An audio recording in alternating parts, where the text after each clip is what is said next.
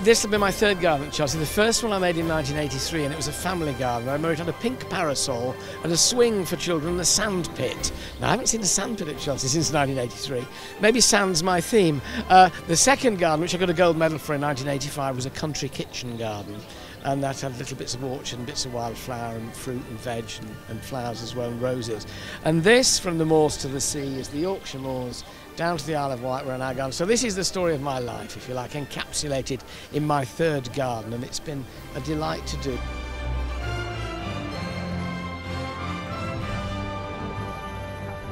It's been a phenomenal week. It's been wonderful to come back here and build a garden to celebrate 50 years of Britain in Bloom and this initiative to get communities gardening and greening up their surroundings and to create something which reflects the breadth of things we can grow in Britain from subarctic flora to Mediterranean plants.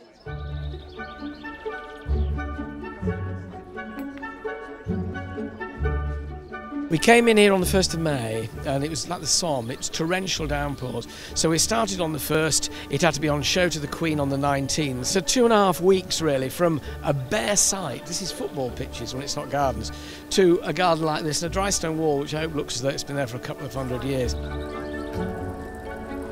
Working with a great team, working with Kate Gould as co-designer and putting the whole thing together. I think probably the easiest things to grow are a lot of the shrubs. So those are sort of the bigger, bulkier things behind you. There's some teucrium and some cistus. And those are things that if you have a, a relatively dry, um, fairly warm garden, will just romp away and, and reward you year after year with very little effort there are some horrors in here. They, the echium, particularly, which are these very tall, long plants, um, they're what we call monocarpic. So they are actually in the process of dying. So they flower, have their glory moment, and then just disappear into nothing. So those would be the ones for the connoisseur. We've got the classic sort of silver birch and pine trees up the top, working down through that moorland, and the beck runs through.